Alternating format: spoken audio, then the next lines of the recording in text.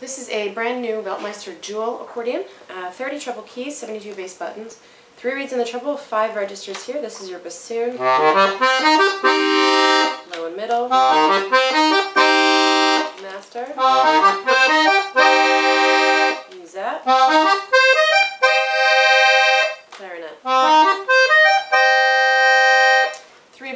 Um, in the bass as well, um, which is nice because it actually makes the bass a little, makes the whole thing a little bit more lightweight and makes the, kind of gives the bass a more mellow tune. Um, so I will play you a few things so you can hear what it sounds like.